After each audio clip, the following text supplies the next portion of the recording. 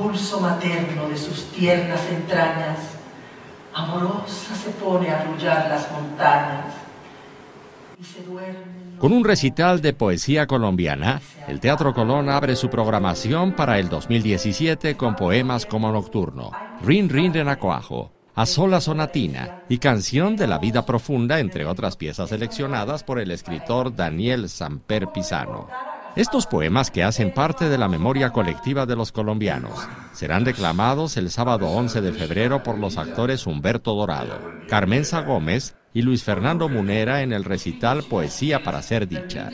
El Ministerio de Cultura, la Biblioteca Nacional de Colombia y el Teatro Colón han decidido revivir esos recitales que retoman la tradición de los que se hicieron a mediados de los años 50, dirigidos por el dramaturgo Víctor Mayarino Botero, para fomentar la lectura en voz alta y redescubrir autores colombianos.